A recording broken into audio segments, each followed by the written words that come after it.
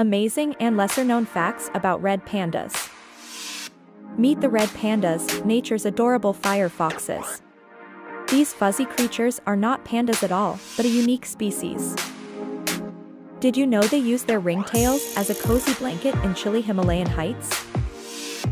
Unlike their famous black and white cousins, red pandas love solitude and are crepuscular, active mostly at dawn and dusk. Their paw pads are covered with fur, a special adaptation for walking on snow. And the most fascinating fact? They use their bushy tails for balance while navigating treetops. Now you know why red pandas are nature's amazing unsung heroes.